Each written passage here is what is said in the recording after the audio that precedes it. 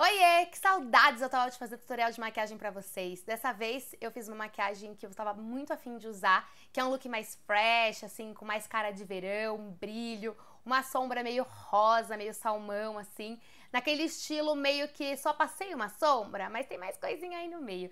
Eu acho esse estilo bem legal de maquiagem, é muito assim, com cara de verão, sabe? Sem aquele look muito pesado. É uma maquiagem que eu gostei muito, eu tô me olhando no espelho aqui, tô me sentindo maravilhosa, tem muito brilho, muito brilho dourado. É uma maquiagem que combina muito com essa época do ano, porque a gente costuma, né, pegar um solzinho, aquela coisa, ficar mais bronzeadinha, então são cores que valorizam ainda mais, né? É uma maquiagem bem fácil, fugi um pouquinho da minha zona de conforto, não usei delineador, mas usei cílio postiço, que né, dá aquele destaque na maquiagem.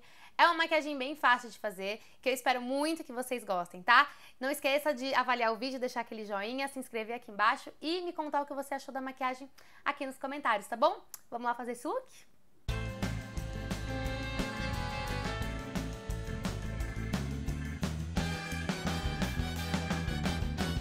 Então vamos lá começar essa make, que ela é bem simples, tá? Eu fiz minha pele já, já passei base, corretivo, no final do vídeo eu conto que eu usei pra vocês.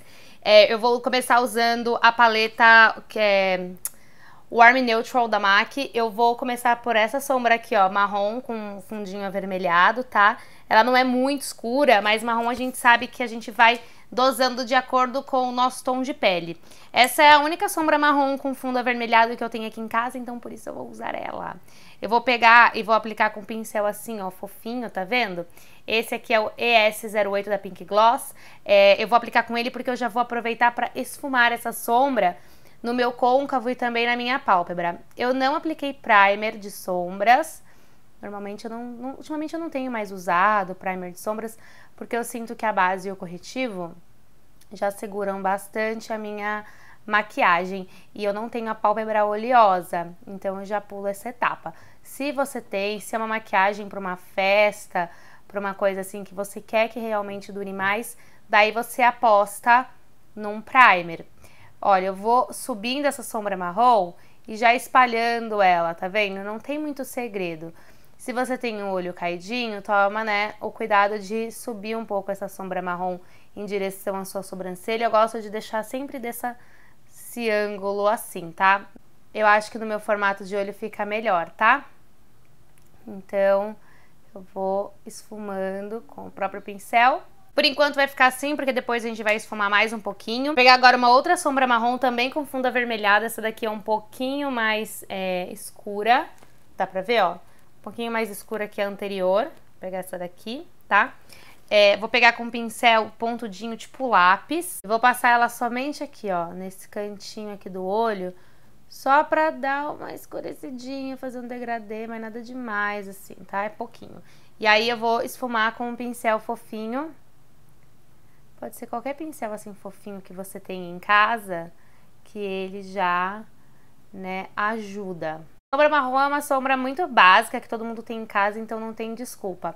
Outra sombra marrom que tem um fundo avermelhado bem legal para fazer esse tipo de efeito é a Cinnabar da Mary Kay, que eu sei que muitas de vocês devem ter em casa, né? Bom, agora a gente vai pra sombra rosa, meio salmão, assim, meio, né, esse tom vocês estão vendo aqui no outro olho. Eu sei que nem todo mundo tem esse tom em casa, então uma dica boa é você procurar um blush que você tem assim bem laranjinha, com um pouquinho de brilho e tal, que dá pra fazer esse efeito. A sombra que eu vou usar é essa daqui, ó, que é dessa paleta da Makeup Forever. Essa paleta aqui, que é a, que é a paleta Artist número 3, tá? Essa sombra que eu vou usar é a I804. Então, eu vou usar essa sombra aí rosinha. Eu vou aplicar ela com um pincel de sombra normal. Ela é bem pigmentada, então não preciso nem molhá-la. E eu vou aplicar aqui, ó, em toda a minha pálpebra móvel. Ah, essa sombra é tão bonita, gente. Olha o efeito dela. Ela tem um, um brilho dourado incrível. Super bonita. Ó, apliquei e agora eu vou esfumar. Então, vou pegar um pincel bem fofinho, limpinho e vou espalhar toda essa sombra aqui, ó. O contorno dela. Pra não ficar marcado, pra não dar aquela impressão de, tipo, só joguei a sombra ali e saí correndo, sabe? Então a gente vai espalhar. Como eu falei, nessa maquiagem a gente não vai usar delineador, mas para dar uma leve definição assim em volta, no, ao redor dos olhos, eu vou pegar essa sombra aqui, ó, mais escura, e vou umedecer um pincel chanfrado. Eu vou usar esse pincel tortinho aqui, ele é da Candice Berenice, tá? Ele é de delineador e vou pegar essa sombra marrom que eu mostrei pra vocês e vou é, delinear aqui no meu olho, mas até a metade só, tá? Então, ó, é bem rente a raiz dos cílios até a metade. Não se preocupa assim, não precisa, é só pra, tipo, dar uma escurecidinha nessa região, mas não é tipo um delineador, tá? Você vem carimbando assim, ó, você pega um pincel chanfrado, você vem carimbando ele aqui. Só um pouquinho assim, ó. Só pra, tipo, nossa, tá um pouquinho mais escuro, mais volumoso, mas não é um delineador, entendeu? É só uma sombrinha aqui, ó, tá? Pra dar a impressão que teu cílio é mais volumoso. Se você não for usar cílio postiço, esse é um bom truque para parecer que, né, o que é mais cheinho. Então, a gente escurece essa região, tá? Na linha d'água eu vou usar um lápis bege, esse aqui é da Pausa para Feministas, aquele lápis do Pérola Negra. Então, eu vou vir com o lápis bege aqui na minha linha d'água. E aí, com aquele mesmo pincel, com a mesma sombra que eu passei, o marronzinho, eu vou pegar ele e vou escurecer um pouquinho aqui, ó, meus cílios inferiores. Até a metade também, mas não é muito, tá? Pouquinho. Daí eu vou vir com aquela sombra rosa da Makeup Forever, tá? Essa daqui, que eu passei em toda a minha pálpebra. E vou pegar um pincel é, tipo chanfrado, assim, é um pincel reto. Esse aqui é da Pink Gloss, é o S15. E eu vou passar essa sombra rosa também na raiz dos meus cílios inferiores, só que do comecinho pro final. Então, eu vou esticar, eu gosto de esticar a pele assim, ó. E vir passando pra dar esse brilho, esse glamour nessa região aqui. E aí no canto interno eu vou usar essa sombra aqui também da mesma paleta da Makeup Forever, é a ME512, essa daqui. E vou aplicar lá no cantinho interno. Pego com um pincel assim de corretivo, esse também é da Pink Gloss. E aplico aqui, ó, tá vendo? Daí eu vou subindo um pouco com ela aqui, porque essa sombra é mais brilho do que cor. Então ela em cima dessa rosa fica super bonita. Ó, vou subindo ela aqui. Nessa maquiagem eu vou usar cílio postiço porque eu acho que é o que faz a diferença aqui. Eu já fiz essa maquiagem sem cílios postiços e eu achei que tava faltando algo, então vou colocar um cílio postiço, eu vou usar esse aqui, ó. É da Kiss. Uh, e esse é o modelo... Esse modelo aqui, ó. Tá? Eu vou aplicar, eu vou passar uma colinha eu vou usar ele inteiro assim mesmo, eu não vou cortar. Vou passar uma cola aqui nos meus cílios já volto pra aplicar junto com vocês, tá? Bom, o segredo aqui é você aplicar o cílio é, bem rente à raiz dos seus cílios naturais, tá? É, pega um espelho de aumento, vem bem pertinho e com paciência você vai conseguir, tá? É difícil, eu sei, mas com treino e com espelho de aumento a gente consegue. Então vamos lá.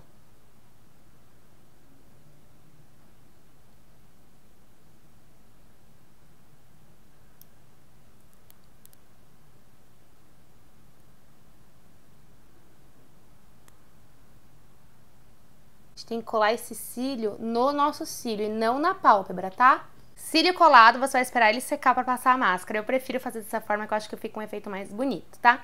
Enquanto isso, eu vou terminar minha pele e já volto com a maquiagem completa pra vocês. Voltei com a maquiagem pronta e vou mostrar pra vocês tudo que eu usei na minha pele, tá? Eu esqueci de falar, mas o rímel que eu usei nos meus olhos foi esse aqui da CoverGirl, da Kate Perry, que é o Kate Cat Eye, preto, básico. Eu só passei um pouquinho só pra misturar o postiço com o meu natural para não ficar uma coisa meio esquisita. Então, né, você passa assim, não se preocupa muito em aumentar, porque, né, já tem cílio demais aqui.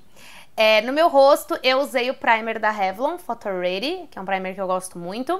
A base foi essa aqui da Maybelline, a Dream Satin Liquid. Eu gosto bastante dessa base, acho que ela fica um acabamento bem bonito na pele, então eu usei ela.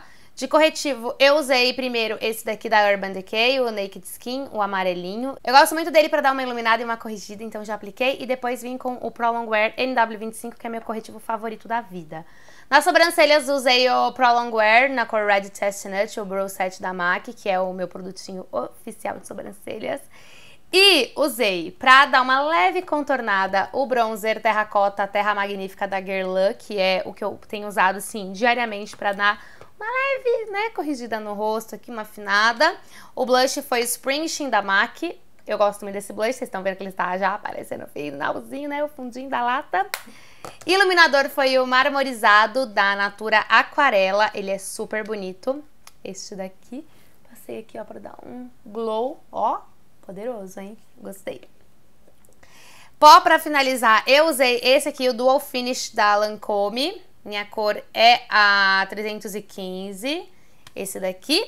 E nos lábios eu estou usando o batom da minha musa Katy Perry. Esse aqui, ó, é o Katy Cat Matte, na cor Sphinx. É um rosinha bem básico, não é um mate nada é, desconfortável. Ele é bem cremoso na real, só não tem brilho.